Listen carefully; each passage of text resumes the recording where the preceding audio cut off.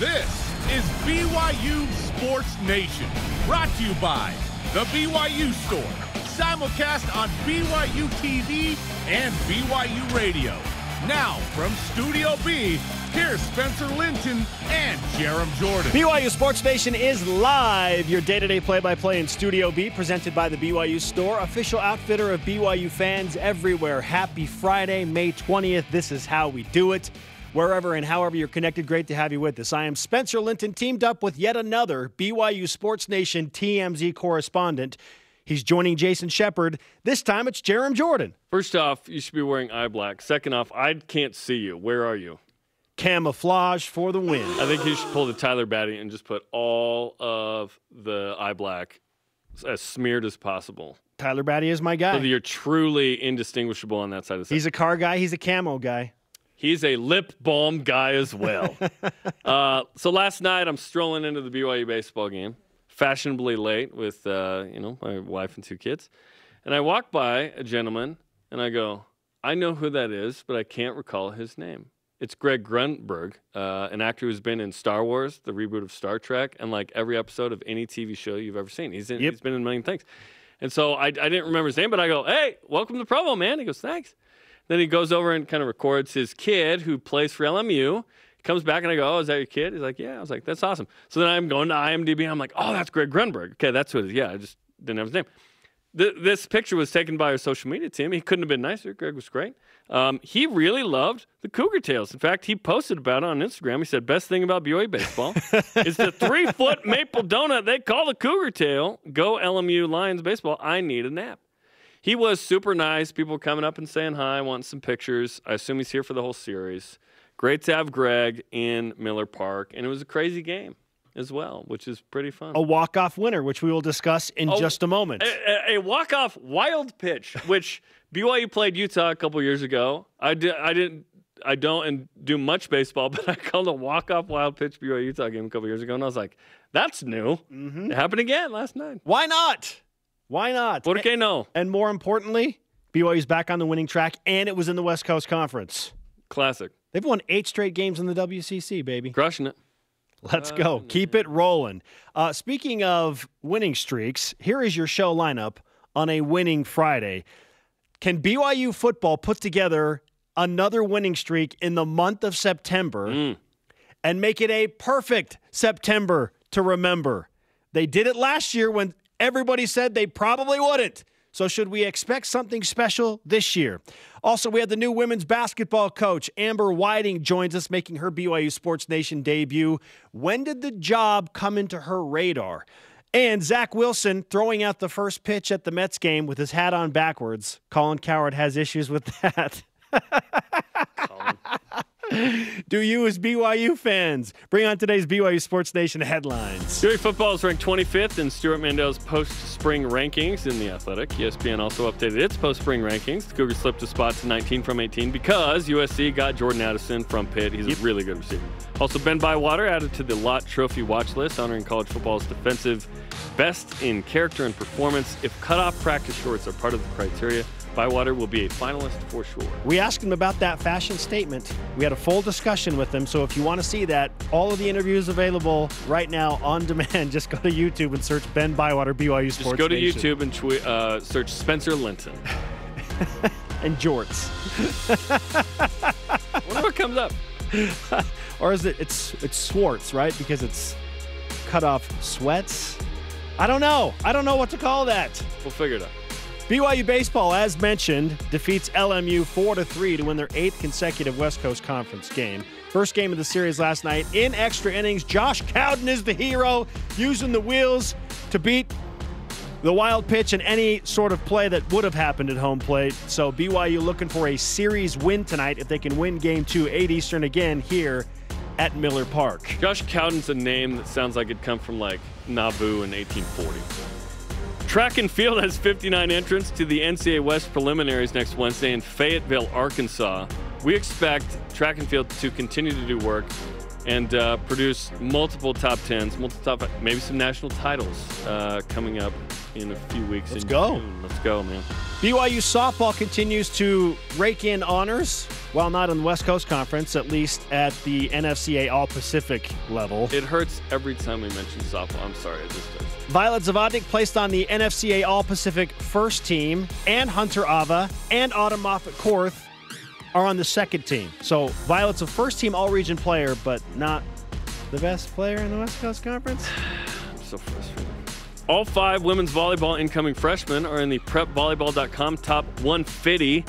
Hannah Billiter, Eden Bauer, Riley Decker, Natalie Moravec, and Kate Pryor. Yep. Cougars ended the season last year, number nine in the AVCA rankings. Recruiting is going really well last couple years for women's volleyball. Cougs overseas. Brandon Davies scored 15 points, had five rebounds in yesterday's loss to Real Madrid in the EuroLeague semifinals. Elijah Bryant, 16.6 rebounds in an Anadolu Efes semifinal win. He's in uh, Turkey, getting buckets. Go, Eli. Well, listen, the Bucks didn't win the NBA Finals this year, and they didn't have uh, Elijah Bryant on the roster. 12th man Elijah Bryant Same. was not there to support. no Sam Merrill, no Elijah Bryant. Don't win an NBA Finals championship. All rise and shout. It's time for what's trending. You're talking about it, and so are we. It's what's trending on BYU Sports Nation. Let's make it another September to remember. And that September and the college football season for BYU start in how many days? Countdown to the Bulls. 106. Seven, six. I, I didn't know what it was. I was 106 trying to read days. the list. 106 days. We didn't do it yesterday. So I was thinking it was You think it was 107. because it was 108 the day before when we did it. I feel like I can read lips like in quick, but I could not read it quick enough right there. 100. 106, 106 days away. Might be. I own that.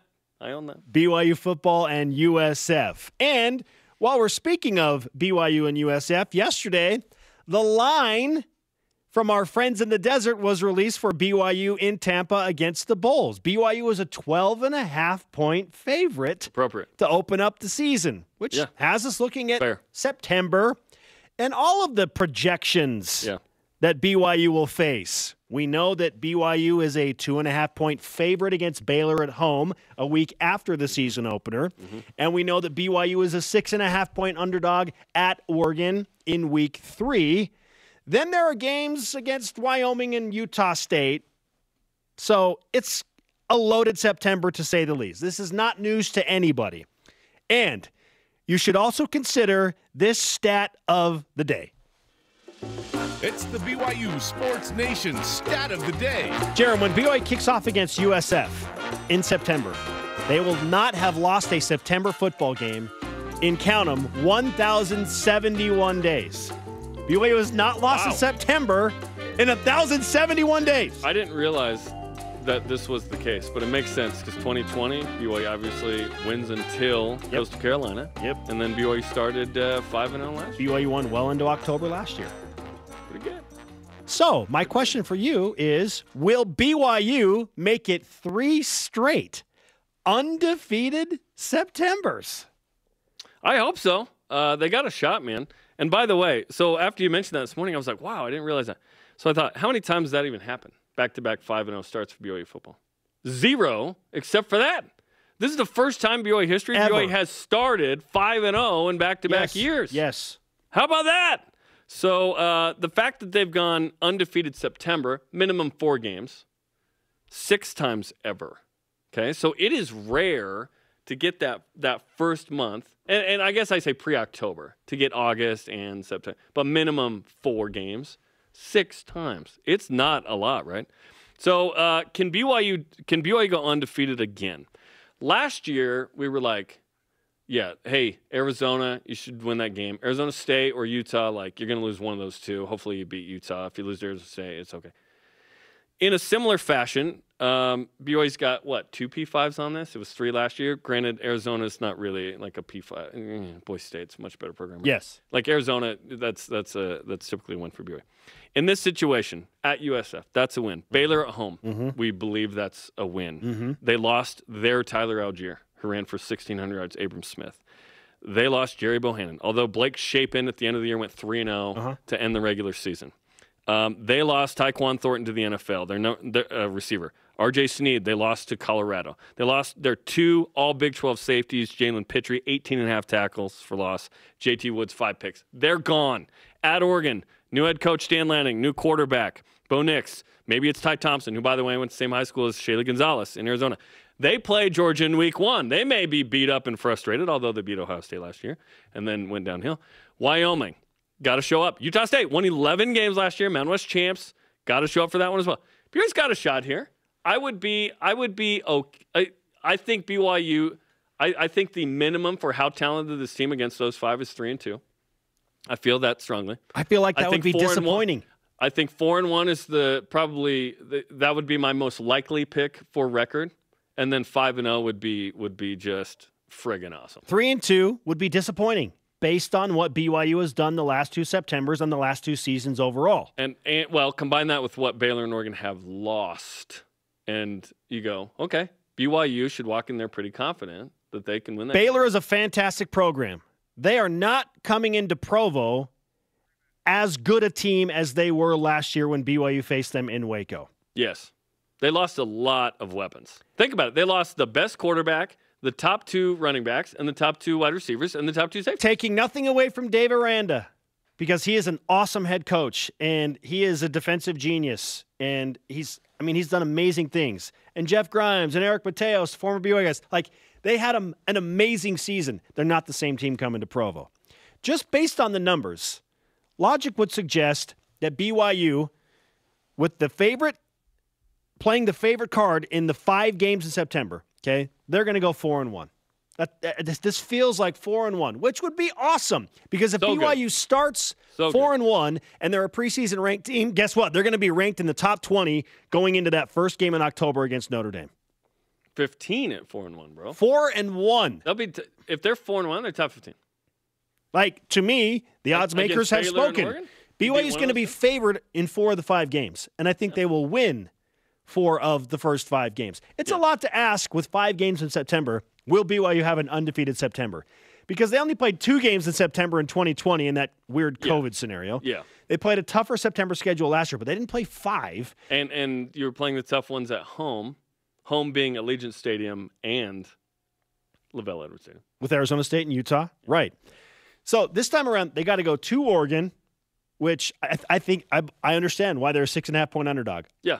It, it makes sense. It's Or- Autzen Stadium. It's Yes. Oregon. Yes. Okay? They're one of the powers of the Pac 12. But, man, it'd be nice if BYU kept that Pac 12 streak rolling against Oregon. That's a huge game. Like like Autzen's cool. Fans are good. I've been to a game there before against Cal in 2019 with Herbert. They don't have Herbert. They don't have Thibodeaux. Like it's a talented group. Obviously, Georgia's DC. Um, you know, coming over, Dan Lanning is a tremendous, um, you know, coach. We don't know what he is as a head coach. Again, they may be beat up playing Georgia in Week One.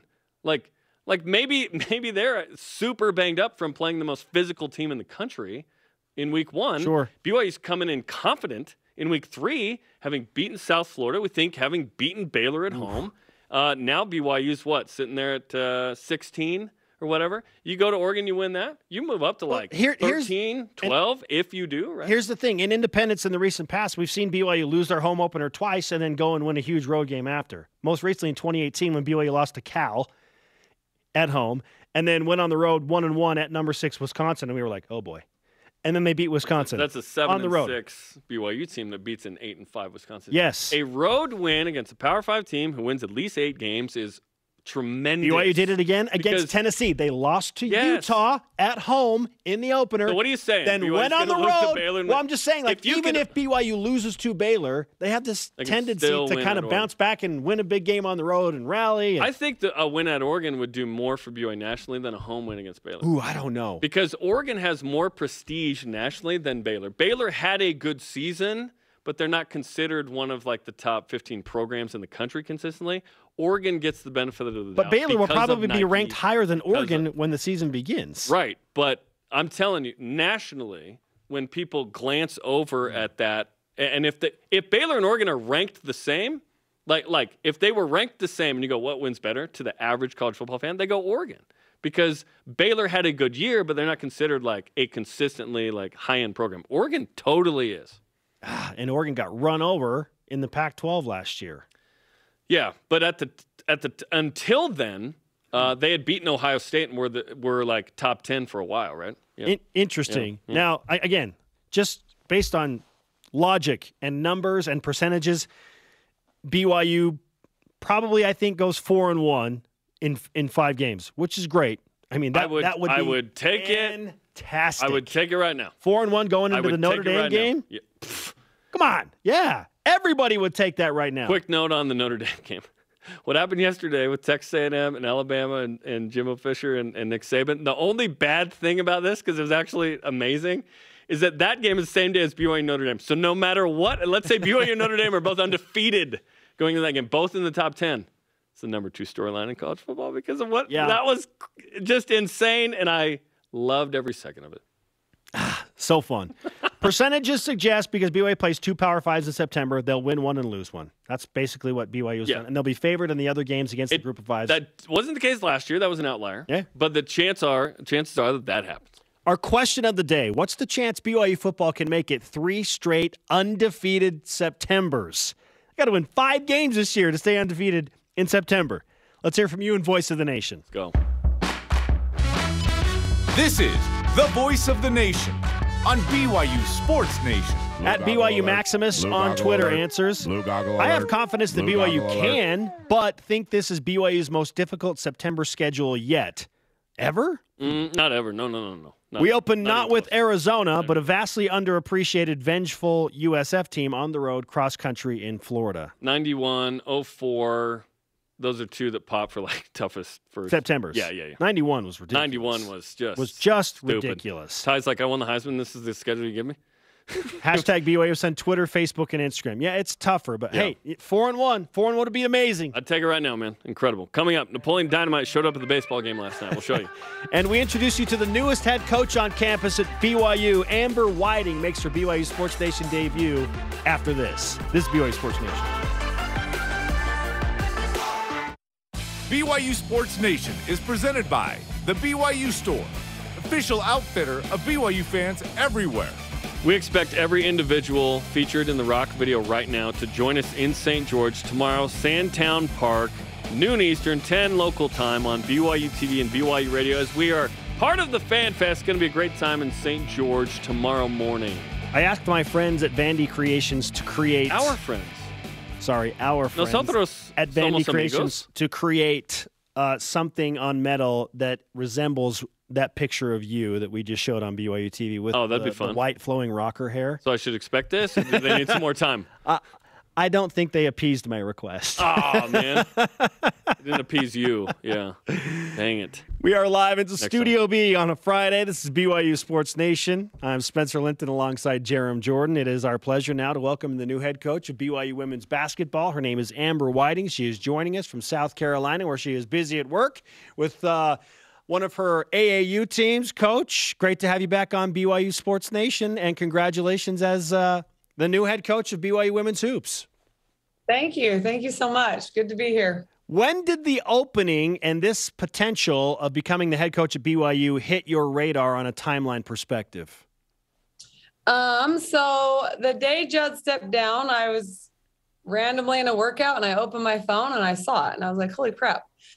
And the first thing I thought about was my daughter, right? Like I'm you want to commit and play for who you commit for. And so that's my first inclement. I was like, crap, like I'm glad that she didn't go that way.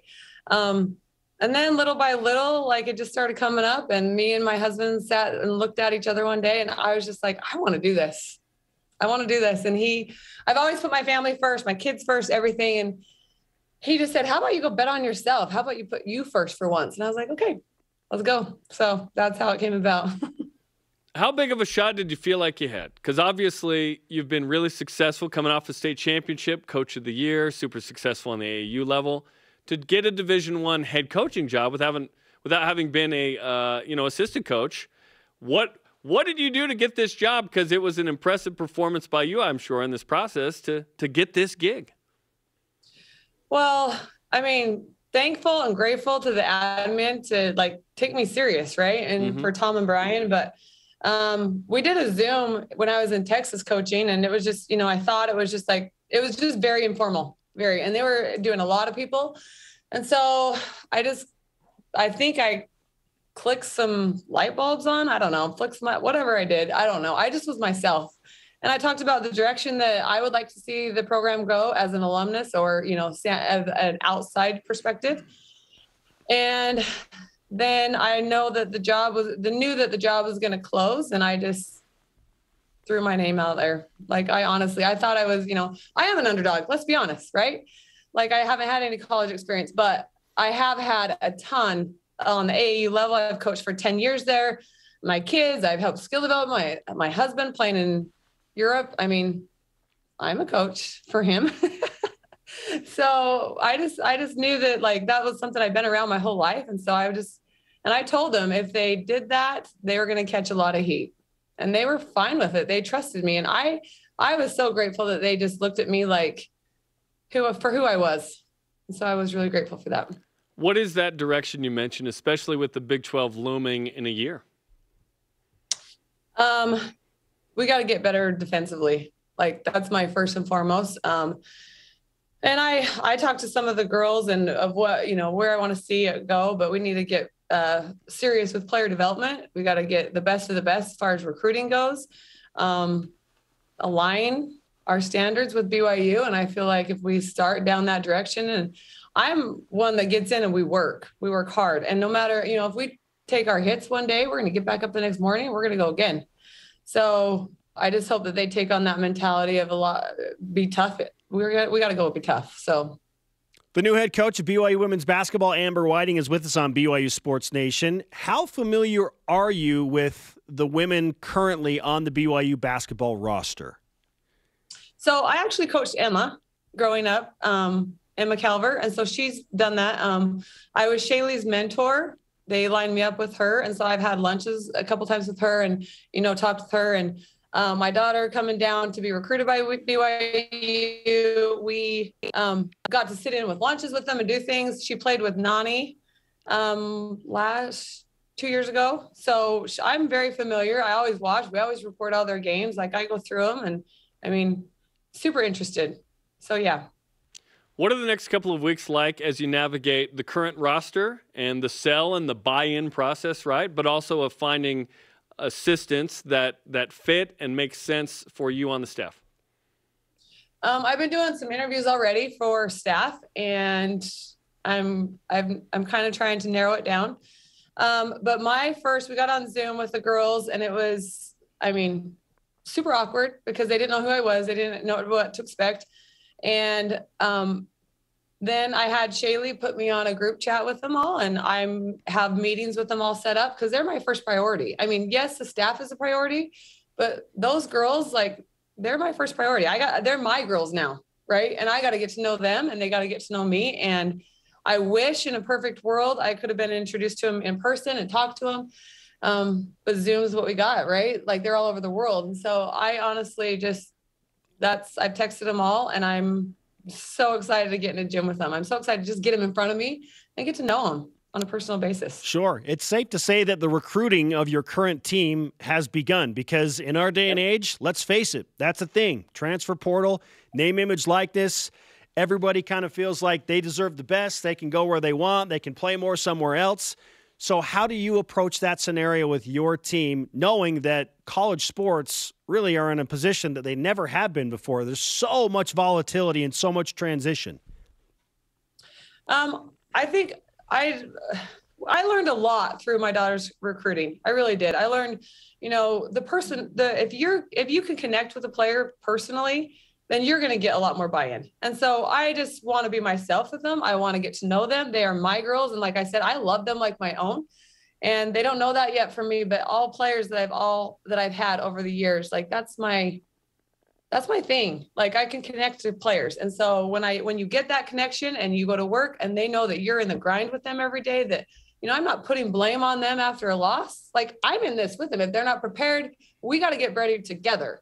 And so that's my thing that um, they're going to learn from me. And I hope that I can help them, you know, like I have a couple rules that mentally flip the switch on a court and I, you know, I can't wait to dive into that with them. And so I hope that they get that. But, you know, at the end of the day, if I'm giving them everything that I have, I hope they give what they have to me.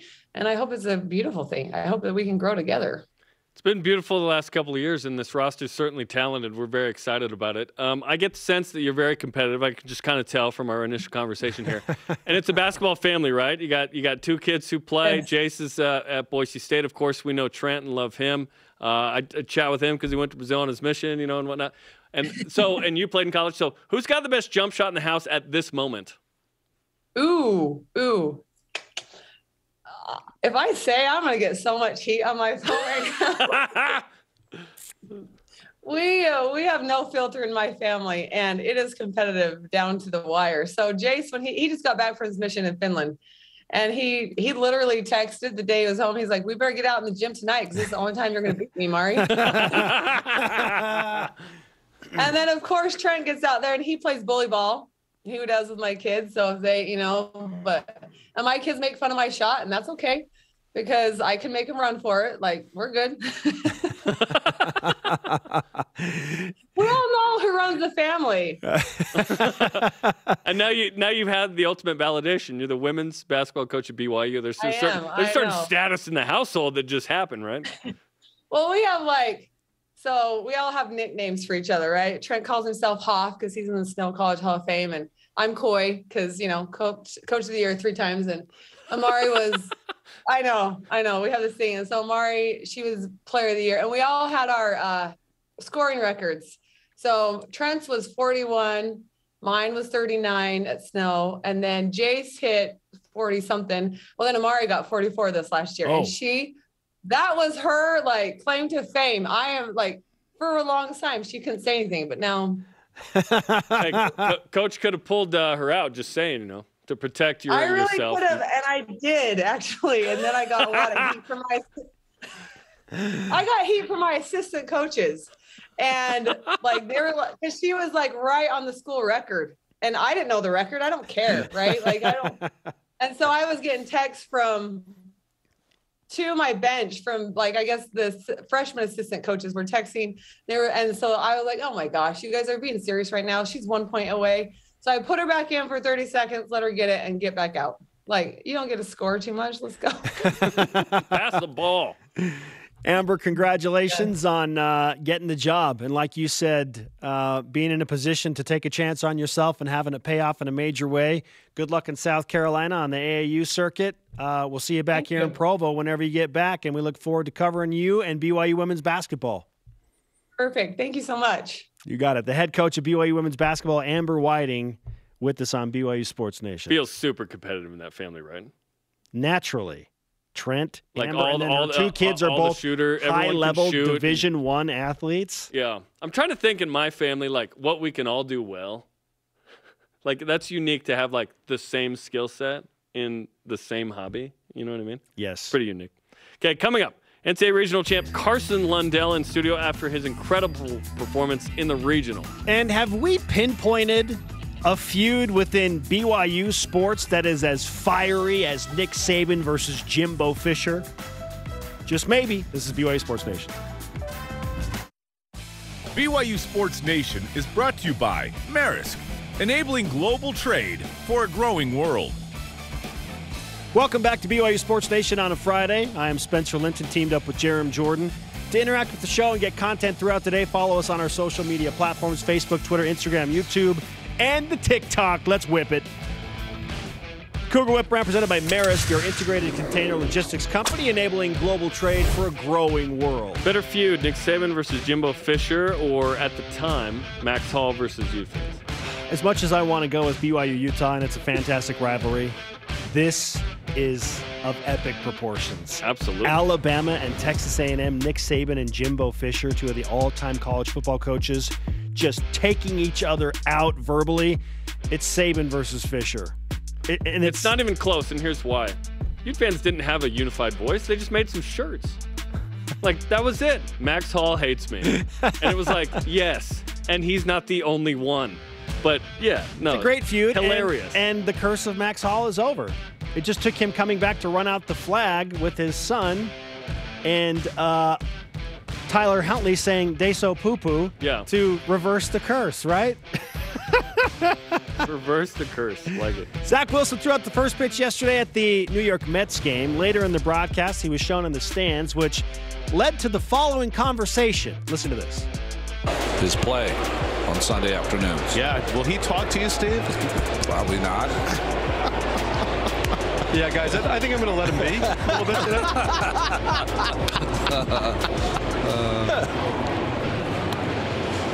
and uh, Ah, he likes the mook. Keith, either that or it's his own name. Oh, well, I don't see what number. It's not. He's not wearing number well, I didn't see the number. That's funny. Okay, Jarom. Was Keith Hernandez saying Zach was wearing a Mookie Wilson jersey better or worse than Alex Cordry's BYU Tigers Congratulations moment? to your BYU Tigers. Gary Tigers is worse. uh, 'cause that's not even close. Although in the feline family, uh, clearly Keith Hernandez does not know who Zach Wilson is.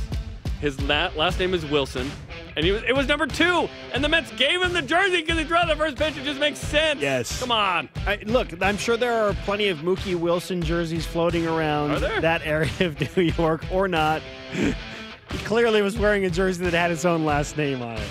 Yeah. That's, the BYU uh, Tigers, yikes. But the Mookie Wilson thing, super funny. Yeah. Women's volleyball's five incoming freshmen all ranked in the top 150. Does this solidify the Cougars in a spot to continue to compete immediately in the Big 12? They're already in a spot to compete immediately in the Big 12, quite frankly. But yeah, You got to keep that. Yeah, the pipeline going. uh, sure. life- yeah. yeah, like they, they can compete. Well, I'm saying like right now the roster is young enough and talented enough that like they could go into the Big 12 next year and the year after and, and they could compete immediately. But like if you want to compete like, three years retroactively and and three, yeah, then you need those. But yeah, uh, immediately right now forward, this this will help them, you know, 2 to 3 to 4 years into the Big 12 Yeah. absolutely. Yeah. No, and BYU has freshmen who come in and make an impact every year. Who did it better? Napoleon Dynamite or the kid from this game last night? BYU baseball, Jarom. I saw this kid at the game, and this was pretty good.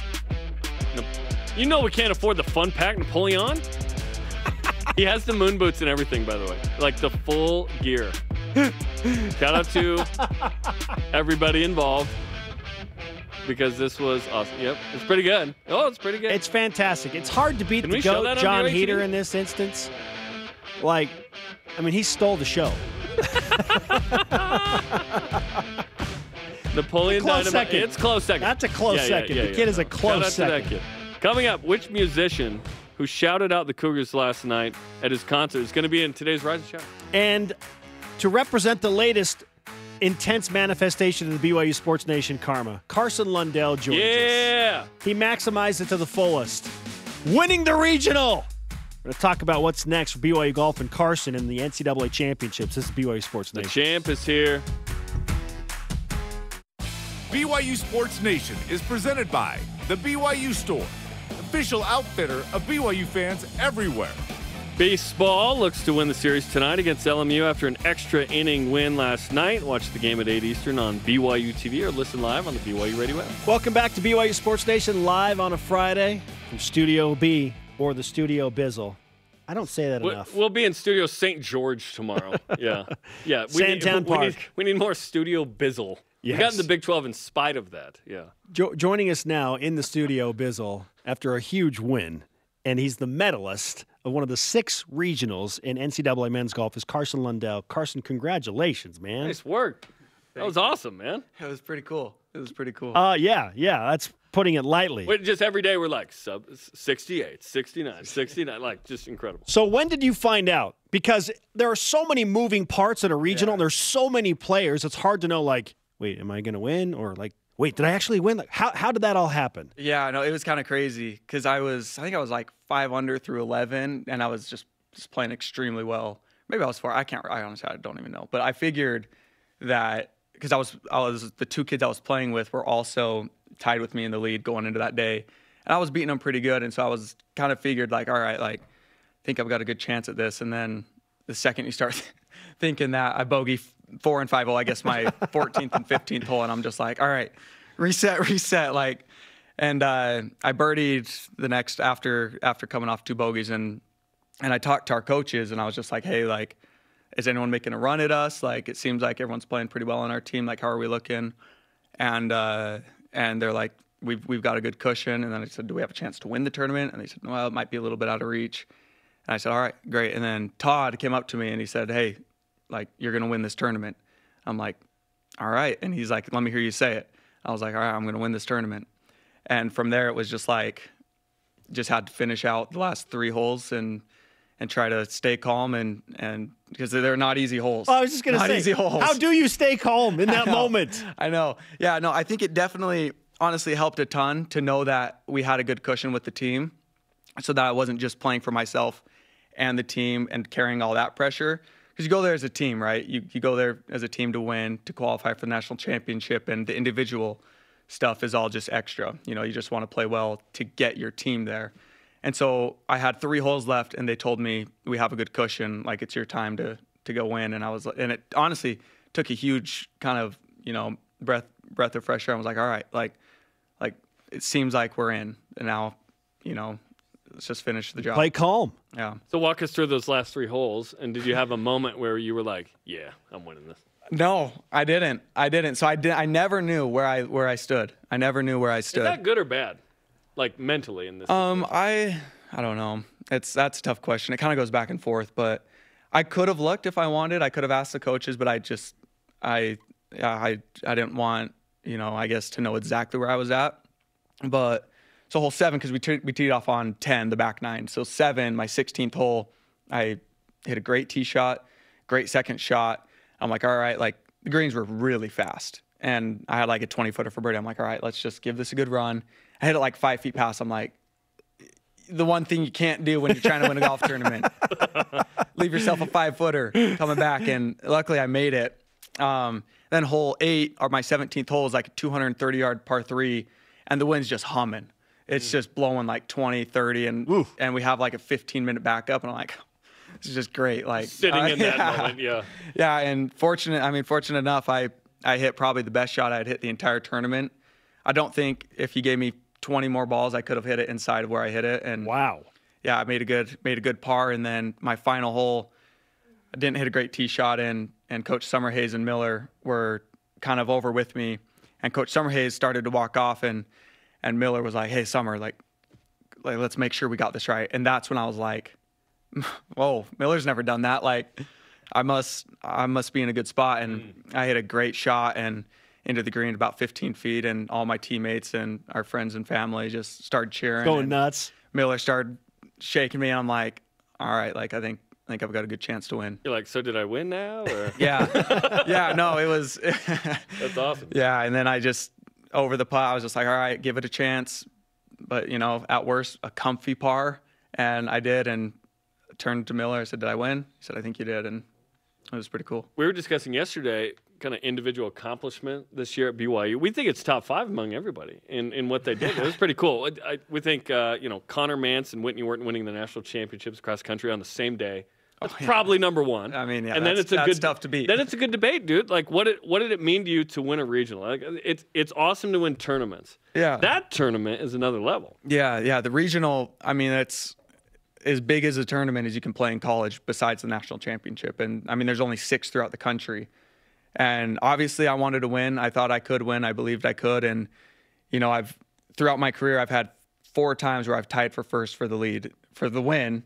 Twice I've lost in a playoff. And, and This I, is first outright. this is the first outright win. Oh, and man. so it just made it all that What a sweeter. way to do it. That's Yeah. cool. Carson Lundell is with us on BYU Sports Nation. Now we got to push forward to the NCAA championships. So you've got your medalist honor, you're riding high, but now you go to Scottsdale, Arizona. Uh, what do you know about the course, and how do you feel about going to play against the top 30 teams or being one of the top 30 teams competing in that tournament? Yeah. No, that's that's what we play for the entire season. That's what that's what we play for. And I mean, obviously, it helps coming off a win, but I mean, just as a team, I think we're just we're so excited. You know, I think we every every single person on the team stepped up this this last week, every single one, and I think, and I still don't think we had you know even our B plus game, B B game. Wow. Really? Yeah, and I, I talked to a bunch of guys on the team, and I mean, I yeah, I think you know we're just going to work really, really hard these next few days, and I yeah, I think we're all just can't wait to get out there and and play. It's going to be a ton of fun. You went to Tucson on your mission? I did. Arizona means a lot to you then. Arizona, like like like these two events, home. right? Yeah. That's, pretty, that's pretty cool, man. Yeah. Um, and and the fact that you're in the NCAA championships, remind me, a Sunday play thing. You gotta. Yeah, this? yeah. So BYU. Oh, so Yeah. so are you going to? And and we uh, walked through this with the women a couple years ago, but and you guys have been there before. Mm-hmm. Um, remind remind us how that's going to work. Are you guys going to play by yourselves one day? gonna play by ourselves. So, so we so we get in on Tuesday, and our practice round is Wednesday, directly following the final round of the women's championship. Uh-huh. And then Thursday, all the other teams play their practice round, and after their practice round, guys, the committee goes out, changes the pins, mows, cuts the greens, rolls them, and then we tee off that afternoon and play solo. On the whole course by yourself. the entire course, we've got it all to ourselves. is that awkward, be, or is it awesome? No, I uh, so I I played my freshman year we at the Blessings Club in Arkansas, and I didn't really know what to expect, but it's like I was actually this morning talking to Robbie Bosco and he just about it and and I actually just I told him it's probably one of the most memorable things I've ever done in my Wow. golf career because it's like you have this amazing golf course, you have five of your best buddies who you've grinded the entire season with, and you've got it all to yourself in the biggest stage. And it's like you look you look forward and you got five five holes of cougars just solo, and it's like it's so fun. It's like the coolest thing ever. It's the most physical manifestation of Sabbath observance that exists. You know what I mean? Like when you obey the Sabbath, you're just like, yeah, I did a good job here. That it's like, no, we we we have a thing we believe in, and we're out here, and the and the NCAA honors that, and that's cool. no, it's That's cool, man. it's awesome. That's awesome. It's super fun. You mentioned Daniel Summerhays. What kind of a difference has he made, having been a PGA guy, on your game and your approach this year? Yeah, I mean, we're we're so lucky. Like, it's so funny. Like talking to all the other teams who we play with, they're like, "Is that a, Su- is that Summerhays?" I'm like, "That's that's right. That's, Summer Sam, Haze." That's, yeah. that's Daniel. And like, not to mention Miller and and and Coach Brockbank. It's like, I mean, you know, we just have so much support, and adding Coach Summerhays and his knowledge of you know the game everywhere he's been, PGA Tour, you know, experience. Like, we're just so lucky, and he's just more than you know willing to share everything he he can with us in order for us to succeed, and just believes in us. We- Fantastic. We were in school at the same time when he was Oh, were you winning Oh, the cool. good win at Yeah, Stanford yeah. and everything. He's just crushing it. Yeah. Okay, well, we gave Coach Brockbank a huge dose of the BYU Sports Nation karma, and apparently it paid off. You know, apparently he gave a lot of it to you. So we're going to And, give you, you and another you've been in here dose. recently, yeah. as Like, well, yeah. take some more karma. Uh, did you sign the flag last time you were here? I don't think I did. Okay, We'll we're going to have have you you do that sign the during the flag break, during the commercial Yeah. break. We need your autograph. Perfect. Thanks for coming in. Carson, thanks for coming in, man. Thank you for having me. Okay, coming up. Hey, who gonna get that elite voice of the day? And which BYU power couple is the most competitive? Hmm. And more importantly, the champion of what you're about to see next. This is BYU Sports Nation. Okay. The official credit union of BYU Athletics. BYU Sports Nation always available on demand via the BYU TV and BYU radio apps. Download the podcast. Just Google BYU Sports Nation podcast. Subscribe, rate, and review. Question What happens when you take two BYU baseball power couples and pit them against each other in a fun competition? Well, you make Kiki Solano the referee, and then you have a fun segment on BYU Sports Nation. Enjoy. It is Kiki Solano here, and I am joined by some of the power couples of BYU Athletics. You guys want to introduce yourselves? I'm Cole Gamble. I'm part of the baseball team here at BYU. And I'm Lauren Gamble, and I'm Cougarette. Um, I'm Kenzie Koerber, and I was on the volleyball team this last season. I'm Nate Daly, and I currently play baseball here at BYU. Because they have competed at very high levels, I assume that we have some competitive personalities here. Kinda. Kinda. Kinda. we're gonna put that to the test. They're gonna be competing against each other, and we're gonna see who wins the most games. Inside of one of the cups is M&Ms. Inside the other is nothing. You will be transferring the M&Ms to another cup using just straws. No timers, just as fast as they can go. It'll take some practice. It'll take some practice. We got a bit of a system going over here. This is hard. You guys can swap. You can Switch spots, swap. You can swap. Look at these. I'm laughing too hard. Okay, okay, I need a break. Take a break. Okay, ready. Fine, I'm gonna pass out. You can't come out of angle. two more.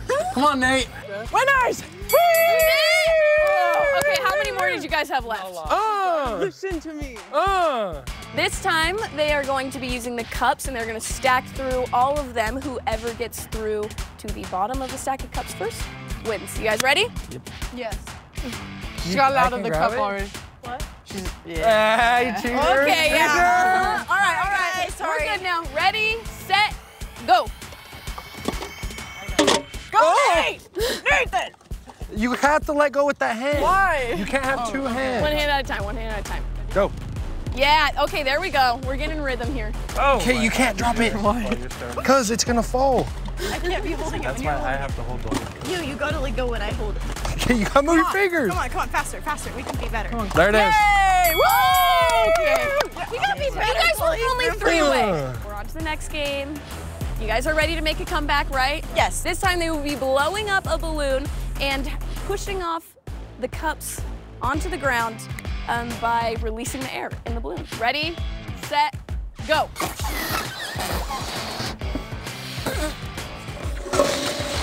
Oh my! As you can tell, they are blindfolded for this game. The objective of the game is to get as many cotton balls as they can into the cup, while of course they can't see. Gather some closer. I can't tell where they And- are. Just feel. How's that gonna help? Just feel. And chill. the timer starts now. Oh, Cole got one in. Wow, Kenzie, cool. okay. Come on, little Ooh. cotton, cotton. Don't take some of yours. Like Your that. cup was over there, I think. Three, two, one. Wait, I want Time. You got none? I can't see. No, no. I got three. How many did you get, Kenzie? Four. Five. How many did you, did you get any more? No. Everyone You're has. I almost that knocked it I'm the most athletic in the relationship. Yeah, pick it So, up. Cotton also the most aware of your surroundings, Yeah. apparently. In this final game, what they will be doing is the ladies will be taking as many sticky notes and sticking it to the guy's face, starting now.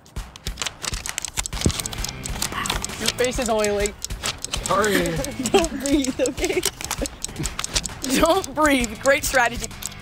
She's pushing down hard. Three, two, and one. Um, No, I'd okay. say we need to count. I don't think we necessarily. Yeah. Cole got it.